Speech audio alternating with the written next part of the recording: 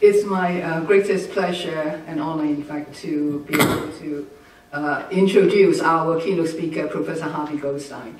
Um, well, Harvey is an old friend of mine. Um, I don't want to say how long ago. I went to the Institute of Education in London to do my PhD, and then my husband and I went together. And my husband was Harvey's uh, PhD student, so the connection went back a very long way. Um, and actually, Harvey is extremely, he's extremely well known. He's done so much contribution to the, I mean, to various areas in relation to using, well, to me, because I'm not in that field, so it's more like you know statistical methods. But he's actually um, done a lot of um, you know groundbreaking work in the area of multi-level modeling, and uh, he actually um, with his team invented the um, multi ML. Well, in fact, it, it started with MLN, yeah, and then um, and then now it's MLwiN. Uh, so and he in fact has been helping us uh, over the um, from Monday to um, to Wednesday with um, you know running workshops and also um, consultancies for us uh, in relation to multi-level modeling. Um, professor Goldstein is uh, at the moment uh, with he's a professor of social uh, statistics at the University of Bristol. Um, but and before that, he was, as you can guess, he was a professor of statistical um, methods a, at the Institute of Education until 2005. Um, he is at the moment also um, serving on a part-time basis um, um, on professoriate appointments at the University College London Institute of Child Health and also uh, a visiting professor at the London School of Hygiene. he's a member of the Council of the Royal Statistical Society, the chair of, the, uh, of its educational strategy group.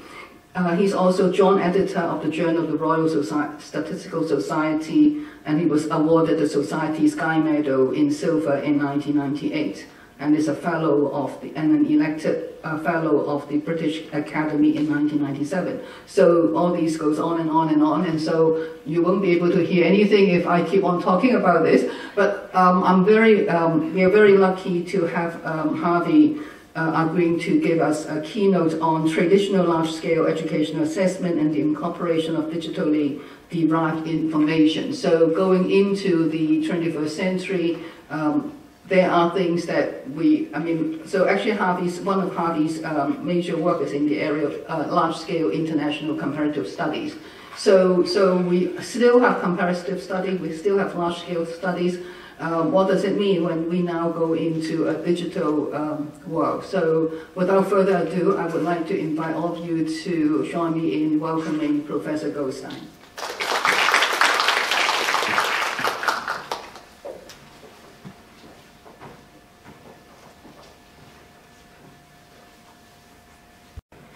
Thank you very much, uh, Nancy, and uh, my thanks to the organising committee uh, for inviting me to uh, give this talk to you. I'm delighted to be back uh, in Hong Kong, and as you will uh, see, I have now recovered my voice, which I had almost lost on Wednesday after giving some workshops.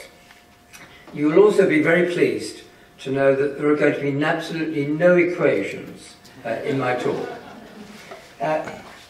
This is very much, uh, for me, a, a think piece. Um, as, as Nancy said, I have been involved in large-scale assessment, comparative assessment. Uh, I've analysed data from PISA, from TIMSS.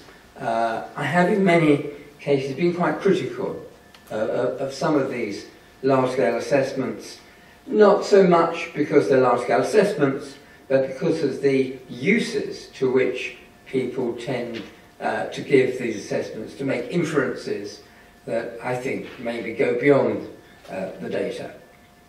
So in uh, the new world of new technology, digital technology, I think there are a number of challenges um, confronting people who do large-scale quantitative assessment. So as I go through, I'm going to discuss what I think some of these challenges are, how we might meet them, what we should, and perhaps what we shouldn't do.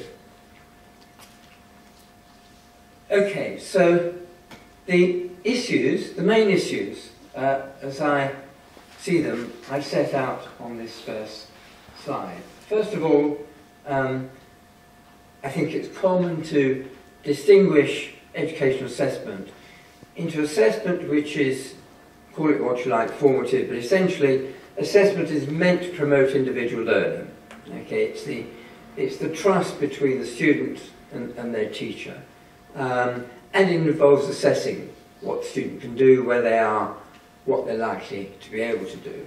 And the other kind of assessment uh, that we talk about is assessment for understanding educational systems. It's large-scale uh, assessment. It tries to understand why things happen, how children learn in relation to the characteristics, to the characteristics in the curriculum, um, to educational policy, to the way schools are organised, social background, and so on. So it's more looking outwards. Uh, it's trying to explain what's happening on a large scale in general terms. Um, so that's the, the third bullet point. Um, digital information um, is now coming in in many ways, um, not just in personal assessment, informative assessment, um, but through the assessment instruments themselves, uh, through the tests. So we're beginning to see some of the large-scale programs like TIMSS and PISA beginning to use um, things like computer adaptive testing, um, using IT, measuring IT skills, uh, and so on. So it's coming in quite quickly. The methodology is there, uh, it's beginning to be used. And that raises a number of issues that, that I've been talking about. Um, and not only that, of course, there's the whole of the other um, world out there in terms of social media, uh, give it its broad terms, uh, which potentially tells you a lot um, about learners, about students, about people who use it. They would do things on social media uh, that are not captured by formal testing procedures, however sophisticated. So there is a big question out there about the extent to which we should begin to think of incorporating what people do on social media, if we can get hold of that kind of information, and that's an issue, um, into our formal procedures for understanding how people learn. How does it relate to the traditional ways we have thought about measuring learning? That's not a trivial question. The point is that the technology has now given us the opportunity to do that measurement. There are actually quite a lot of people out there already researching social media and tracking all kinds of things. There are the security services, as we know, uh, that are tracking everything we do as citizens. There are researchers uh, attempting to track uh, what teenagers do using social media. There are issues, there are ethical issues, there are issues of consent. There are all those issues that I think we're all familiar with. My concern is once you've dealt with those issues, once you've satisfied those issues, how do you then use that information within what is the traditional framework of testing? You see, moving, for example, in something like PISA or TIMSS, um, to an on-screen assessment or an adaptive style assessment is really not doing anything new. It's using the new technology but in the old way. You need to think about that a little bit. It's not actually setting up a new paradigm for testing. It's simply updating the methodology, technology um, that's there to make it easier. So the claims, for example, for adaptive testing uh, are that uh, you can uh, assess an individual more accurately because you can home in on assist, uh, an individual's actual underlying achievement. There's some issues to do with that that I will talk about later. Um, but that's not really new. It's a new way of doing the same thing we were doing before. So there's another big issue out there. This, I said, is a thought piece. And I haven't given an awful lot of thought to this. But it does seem to me that there is information out there, there's information about people's behaviour that is related to their learning. A lot of learning goes on through social media. Um, it goes on through formal uh, courses, of course, on the web, the MOOCs and all the rest of it, um, and the informal courses. All that is out there. How can we bring it in? Should we bring it in? And if so, how can we do that? Okay. Um, one of the issues about the uh, new information that we may want to capture that we haven't really faced, I think, in traditional assessment in the same way, is how do we make an assessment of the quality of this information? So if you're conducting uh, traditionally a test uh, to measure some kind of attainment in language or in mathematics, uh, there are all sorts of procedures. They're enshrined in the textbooks about how you create good tests, how you ensure that the way you test people meets certain quality standards. You how to ensure that it has a certain level of validity, reliability and so on. Over the last century, we've developed ways, um, slowly, of being able to measure that. Now we're confronted with data we have no control over. If we're going to tap in to some of the digital data out there that people are using, they're interacting with, we don't have control over those data directly. Those data are just there. Um, they, they obey certain rules. The rules are determined by the technology, the way people use them. But how do we determine whether they meet certain standards, certain criteria that we might want uh, to um, actually adopt with these data, and how do we link those with our traditional criteria? So there's a whole range of issues. As soon as we begin to think out of the current way in which we do educational assessment, we're confronted by a whole range of new issues. So, um, I've already mentioned um, what I call digitised testing, and I'll say a little bit more about that now.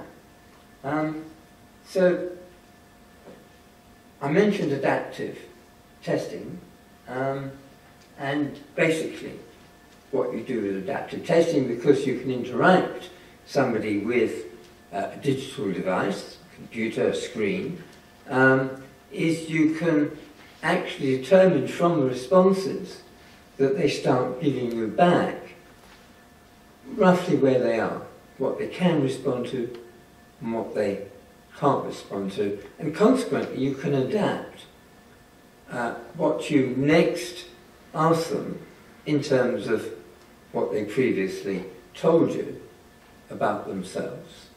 Okay.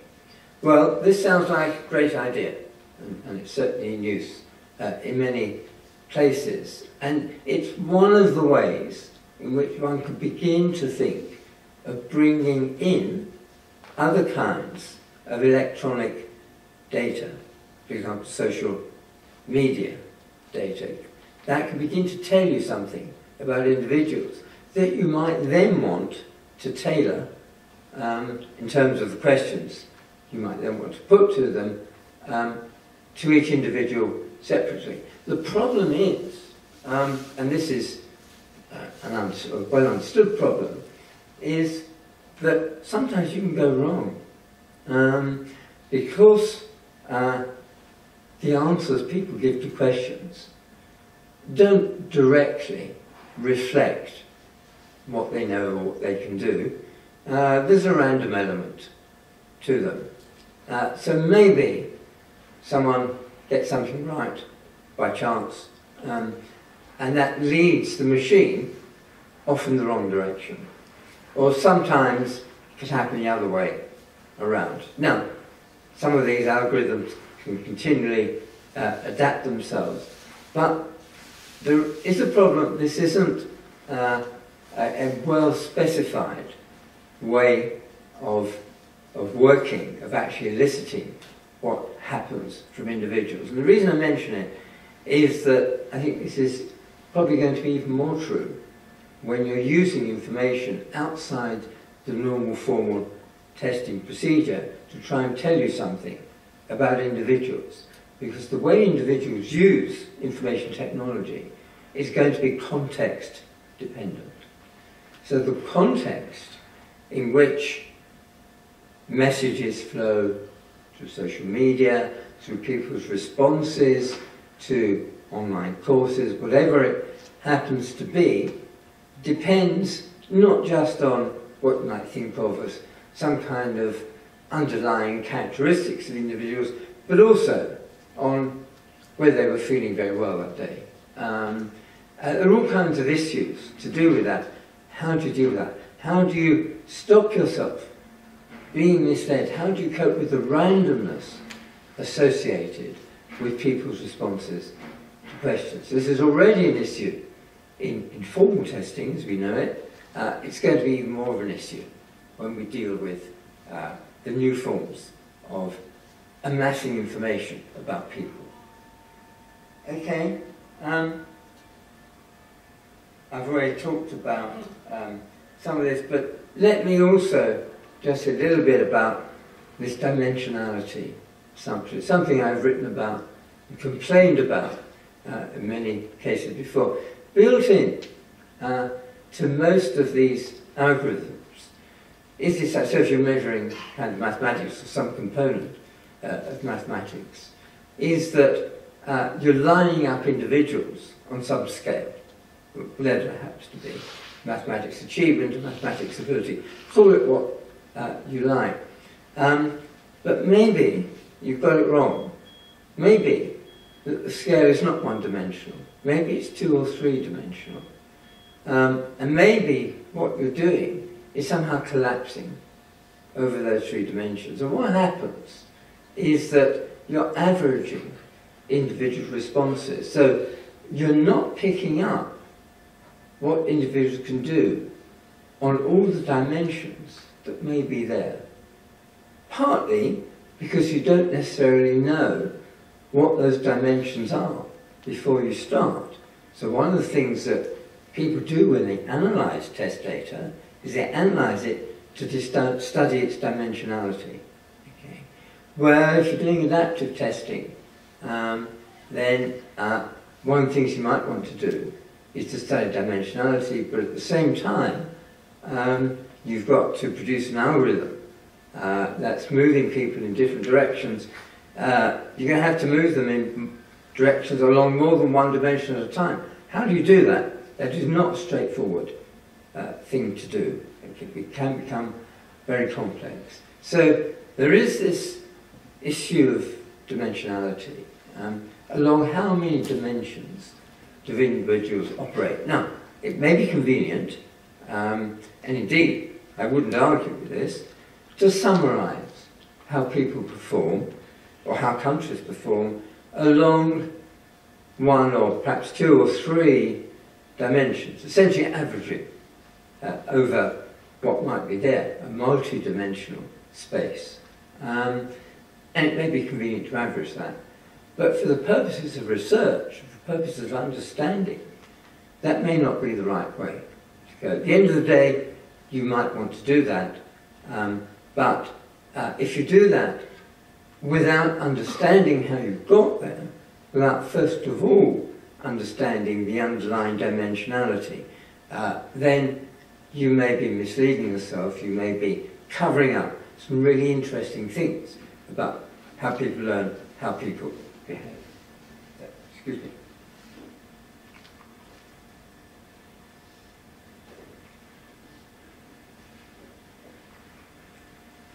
I don't want to sound too negative about this, um, because there are all kinds of things that computerized testing or testing using digital media can do that you couldn't do before.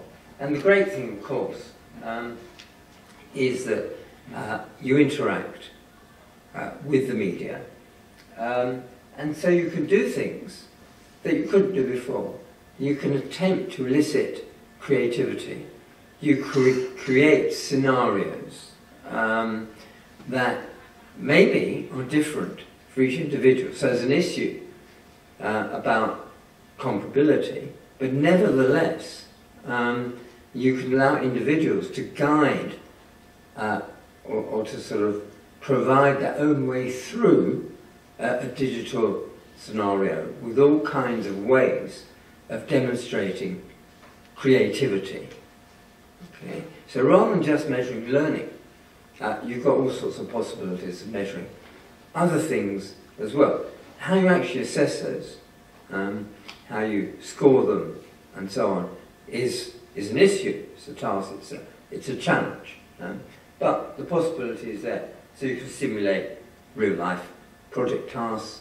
Um, one of the features of many educational systems, certainly in the UK and I think probably in Hong Kong, that the role of project work, kind of practical work in many subjects, has become diminished um, for all sorts of reasons. And one of the ways of getting some of that practice back into the curriculum, of course, is via simulated tasks uh, using the screen. I'm not suggesting that's uh, a total replacement, um, but it's one way of thinking uh, about replacement. Um, also, because it's digitized, uh, you can deal with large numbers of respondents, of students, simultaneously. So rather than the, in the assessment for learning context, um, having this interaction between teachers and pupils, you can to some extent supplant that with the interaction between teacher-controlled digital environment uh, and students. And that actually could be made very efficient in the sense that many students can access it at the same time. Um, so, let me carry on. Um, one of the, I've, I've talked about um, acquiring data. Um, it's an issue, how you do it, do you have consent to do it? But one of the ways of acquiring data is, of course, that there are already large-scale databases out there. So it's not digital uh, media, it's not social media anymore, but there's large-scale administrative databases on individuals. Again, I'm not familiar with, with Hong Kong, um, but uh, certainly in the UK and in many other countries, particularly in uh, the Scandinavian countries, um, there is a vast amount of information on every single individual, um, often scattered, not linked together, um, but it's separate. So uh, in the UK, we have something called the National Pupil Database, which is a longitudinal record of every student from the time they start school actually right through to the time they finish education, for example, university, all linked together, um, available centrally, and also to some extent available uh, for research purposes, uh, and potentially available um, as part of an assessment system, because some of the assessments are actually part of that system. Not the formative assessment, but there's no reason in principle why such a database uh, couldn't uh, be expanded. So the idea that uh, you can capture not just by successive one-off surveys like PISA, um, what's going on in the education system, but you can maintain uh, a database over time that actually in many ways can yield similar kinds of information but has tremendous advantages in the sense that theoretically it captures everybody. In practice, of course, it doesn't, uh, but theoretically it does. Um, it links data longitudinally, and this is terribly important because many of the large-scale assessments that we're used to, um, PISA, TIMSS, and so on, are not longitudinal. And in that sense, they fail many of the tests for research purposes. They're not really uh, designed or able um, to say very much about causality. And the reason is that they're cross-sectional. That, I think, is a, a tremendous mistake. I think it's a great pity. I think millions of pounds have been wasted uh, on acquiring purely cross-sectional data when you didn't have to do that. You could have acquired longitudinal. But that's another lecture. I'm not going to go into that. Um, but in the new technological age, these things become less and less relevant. They don't entirely disappear. We need to be concerned about all the issues um, of designing test items, how you capture data and so on, that are already issues with these large-scale assessments. But you don't have to, every four years or every three years, set up a new assessment system. I think that's, that's the old days now. That, you know, we have the technology, you don't need to do that anymore. Um, why should you do it? It's inefficient. Um, now, I'm not saying uh, that uh, there are not problems to be overcome. There, there are real problems, and I think there's big problems about consent, individual consent to be part of those kinds of systems. Um, and a lot of that is based on whether there is trust, um, and that in some uh, systems is in short supply. Um, so there are those kinds of consent ethical issues about keeping data secure and so on. I, am well aware of, of these problems, but that doesn't mean to say we shouldn't be thinking uh, about how to do that. So I see my prediction for the future now. I, I hesitate to make predictions because um, I, my predictions are usually wrong. For example, I predicted that the Labour Party would get more seats than the Conservatives in the recent election. I even put some money on it. Uh, well, it, I might have, it might have happened, it didn't quite happen, so uh, don't trust my predictions. Um, they didn't do too badly, actually, but that's another story. Um, my prediction is in 10, 15 years' time, we will be moving away from these systems like PISA to much more stable, ongoing systems um, that are maintained as a matter of course.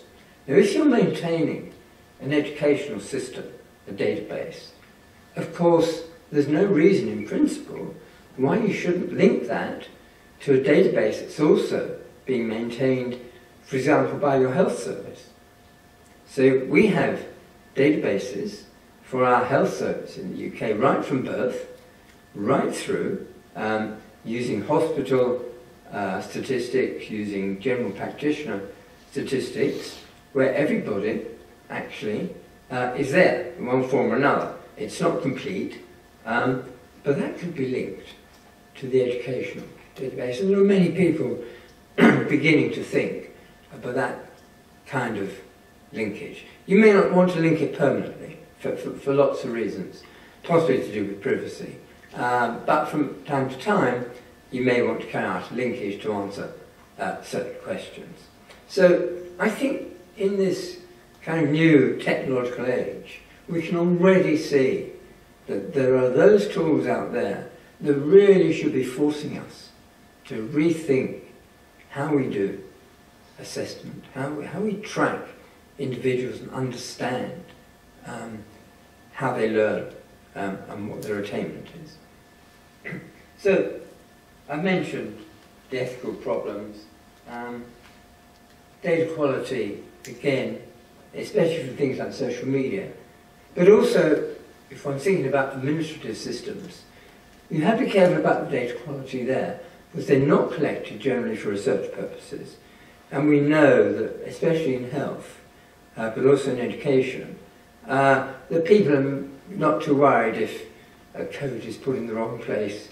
Uh, there's not the same care and attention to accuracy as there would be with a research study. So those are issues that uh, one needs to think about.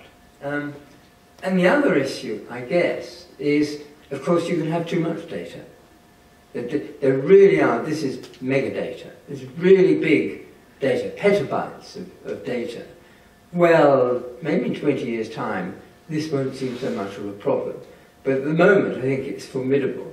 How do you deal, how do you summarize, uh, begin to kind of process such vast quantities of data? People are working on this, um, but, but it is still an issue. Hopefully it's an issue that people find ways of, of tackling.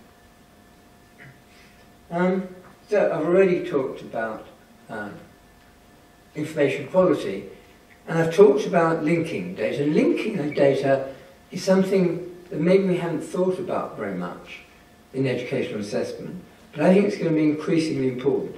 Linking data from different sources, bringing it together on the same individuals, I think is going to be increasingly important. Because one single study, again, talking about something like TIMSS, you're collecting data, you're collecting social data, you're collecting educational data, but you're not collecting a lot of health data, for example. but you could, in principle, get that by linking to the files that already exist from those individuals. But data linkage, you have to be very careful about. Um, it is problematic. Um, and it's partly because if I'm entering somebody's name in a database, I could misspell it. Um, and it could be misspelled in two different databases. And if you come to link, and if name is one of the linking fields, uh, then you start having problems. So there's a lot of work going on. It's one of the interests we currently have in, in Bristol about how, about how you link. Um, not so much how you link accurately, uh, but how do you use what we've come to call probabilistic linkage. How do you cope with the inevitable differences, inevitable problems of linking the same people together? And there are ways of doing it. They're quite sophisticated and we've only begun to think about it. But it's really just a warning. It's not a straightforward procedure. There are lots of problems to do with it. But it doesn't mean to say that it can't happen. And governments, of course, certainly in the UK, have publicly said they want to disseminate data and they want data to be linked. I don't think the governments understand at all what it means. Um, it sounds good. Uh, but let's, let's be grateful for small mercies, they've said it, um, and there are ways of doing it, and we need, how, need to find out how to do it efficiently.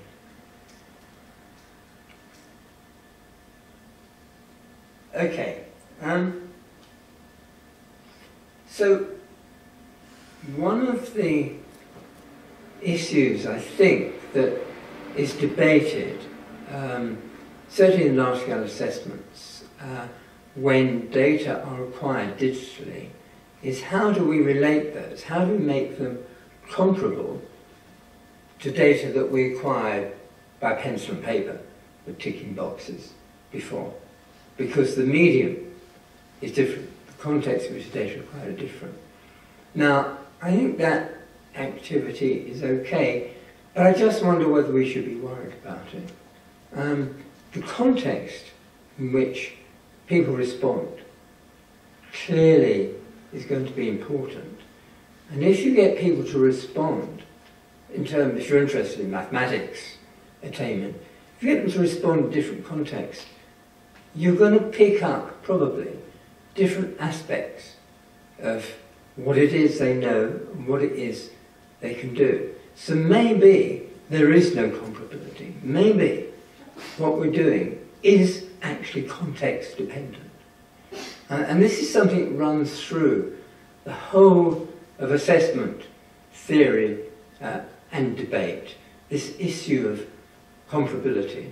I've said this in, in other places, um, but a lot of the um, assumptions that go into large-scale uh, assessments such as PISA are predicated on the assumption that you can have comparability for the same test, you can do the same test translated in different uh, countries, different educational systems.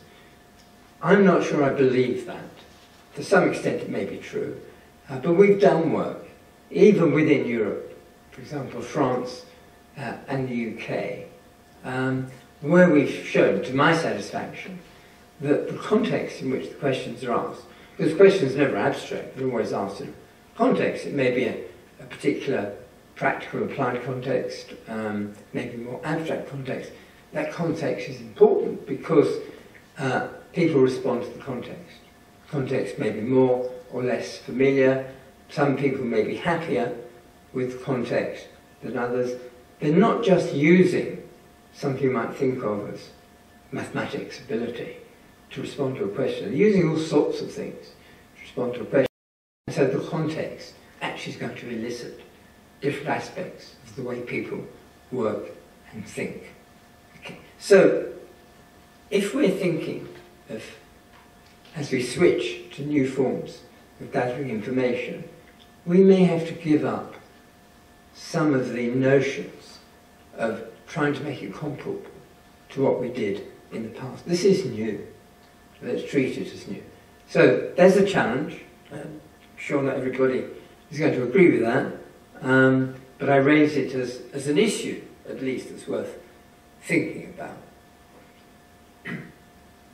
um, so I've said something about um, digital media. Um, more about it. There aren't big problems, but there are big payoffs as well. Because what is being captured in digital media now is how people spend their time. Um, so not just in the artificial situation of being in school or being tested, uh, but how they interact with each other, how they interact with the outside world, outside of, of those things. And potentially, as I'm sure everybody here is aware, uh, there is all sorts of information that we need to be thinking about how to capture uh, from those kinds of media.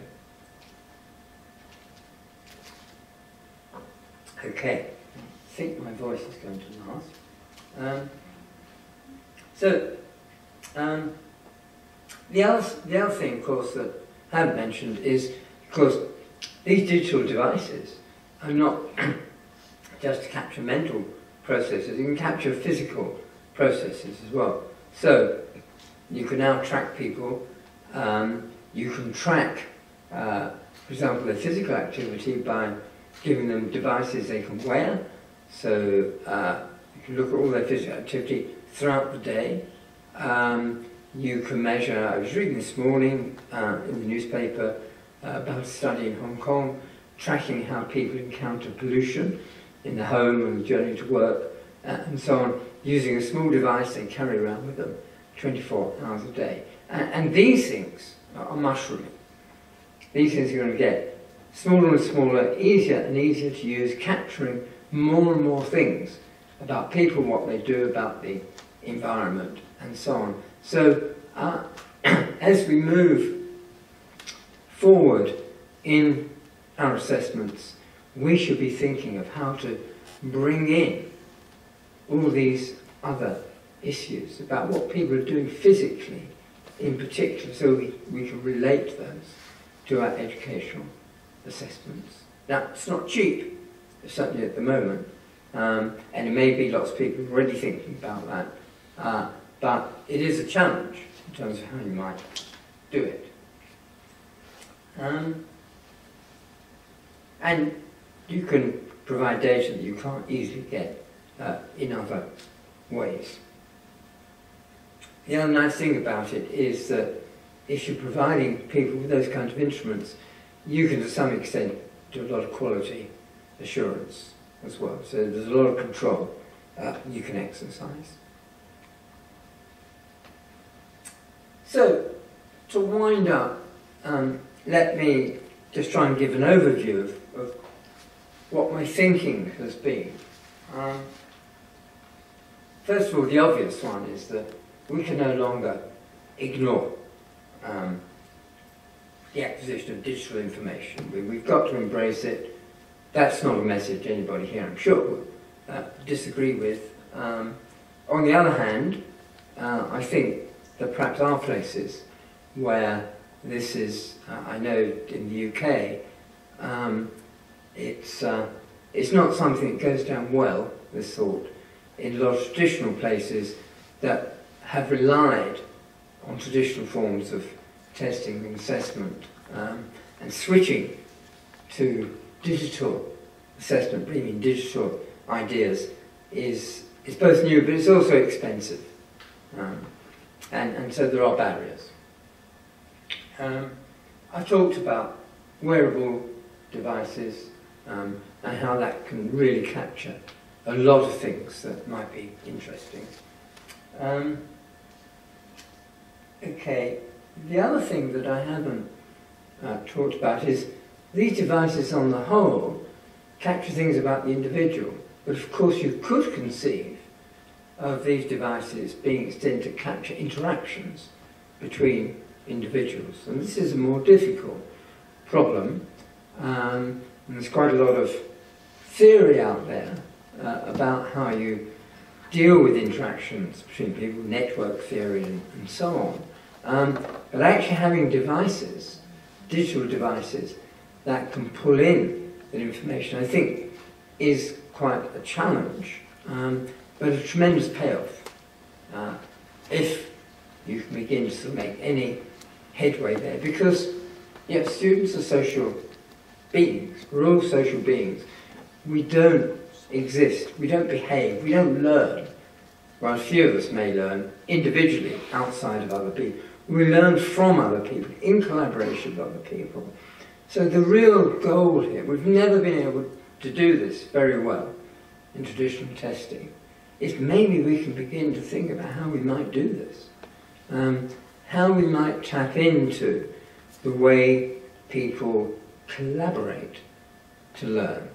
Okay, I know there's been a lot of thought about collaborative learning, but the ability of digital devices to monitor that, I think is new. It's difficult, um, it's not going to be straightforward, um, but it's one of the places I think that uh, digital technology can really make inroads. The whole idea of collaborative learning, not only assessing it, but promoting it as well.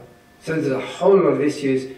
I'm interested in a lot of methodology, but how do you process the data you get? That's not trivial. That's really quite difficult. Um, but other people are interested in technology, developing the technology. Um, okay, uh, and, and last point is for me, uh, the challenges are exciting. It keeps people like me in employment, which is very useful. Um, and I, I, see no way in which people like me are going to be unemployed in the future with all these data coming in. You're going to need us uh, more. Anyway, thank you for listening.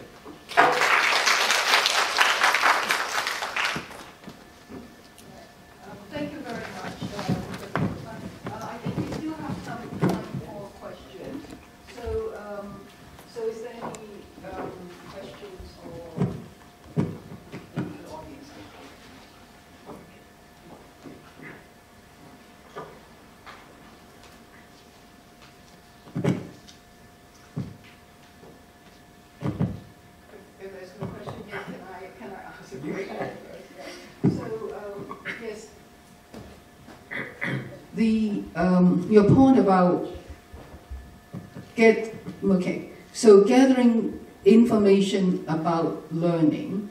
Um, I mean, traditionally, if we want to assess people's learning, we were doing it through tasks like, um, say, exercises and so on. But then you were talking about now you can actually uh, look at how people actually behave. Um, you know, to see their performance. Now, in a way, it's not entirely new.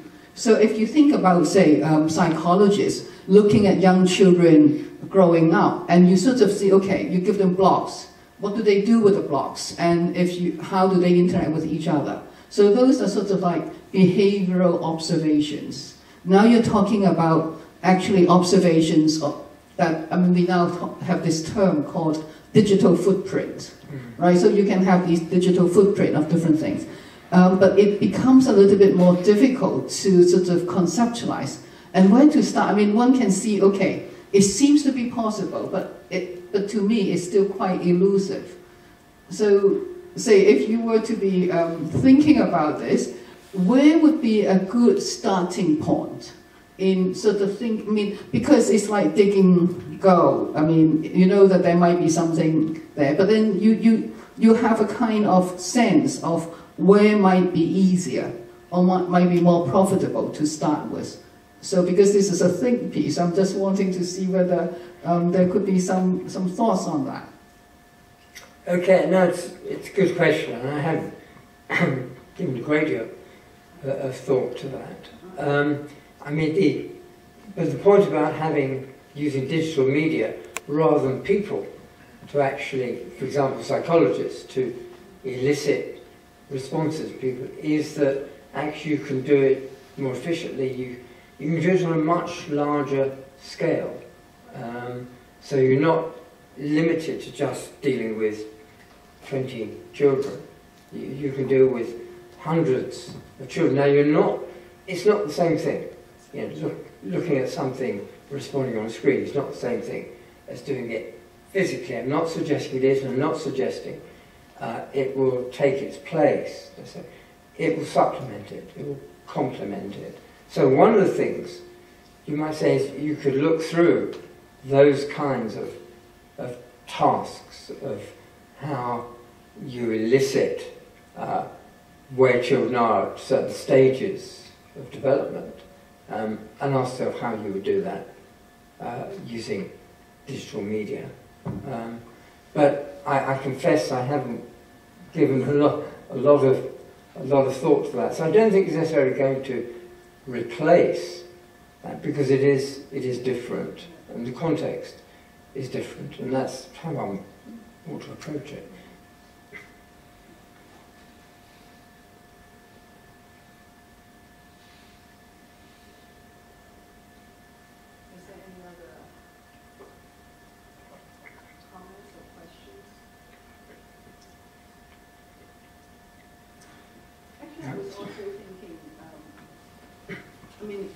when we think about assessment, there's another aspect of it. I mean, okay, well, we want, especially in the, in the context of education, we, need, we want to be thinking about uh, what are the contributing factors um, that influences um, development. And oftentimes, we would be looking at, um, say, surveys for contextual data, but um, with the new technology, there could be also different dimensions of uh, ways of getting um, access to it. Yeah. And also, but it's, and what you said in, in terms of the interaction side is also uh, very attractive, particularly if we say we think about children growing up. It's actually that we were talking about family influences. Now, family influence is not just as, I mean, we, we, we now tend to reduce it to SES. So, um, does your father have a degree or your mom uh, what kind of work? But then, what kind of exposure do children uh, exposed to? It's not just digital. So, but then, how do we get access to it? I think it's another gold mine there. But how do we get access to it? Well, I, I think that's right, and it's part of what I was saying at the end about how do you uh, capture interactions between people. How do you catch interactions between parents and children? Um, you know, what, what do you need to do? What devices do you need to install? And uh, because you're generating lots of data, then how do you summarize those data? Now, it's not something people haven't thought of before, but now I think we're, we're just coming to the stage where um, we have the technology that can do these kinds of things. Um, I think the issue is, is where do you put your effort? Um, and you kind of alluded to this, where, where, where do you start? And, and that's a big issue. So maybe the first thing to do is to sort of say, well, what should we concentrate on? What's likely uh, to bring us big benefits? Um, and um, let's go for that first.